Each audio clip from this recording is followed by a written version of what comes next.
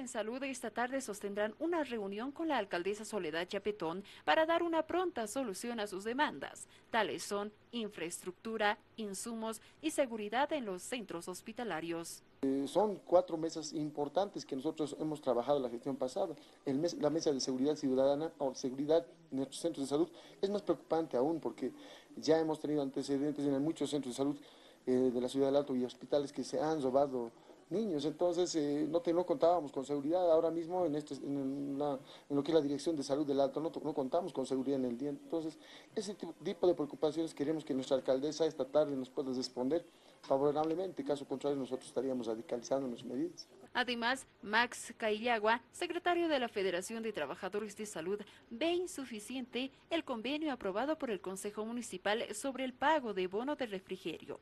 La autoridad señala que todavía no hay solución a sus principales demandas. Eh, queremos decir ante todo el día la población de que no solamente eh, la aprobación del refrigerio para el Hospital Corea y el Hospital Holandés era el pedido de los trabajadores, nosotros hemos planteado el cumplimiento a los compromisos que han asumido la gestión pasada para mayo de la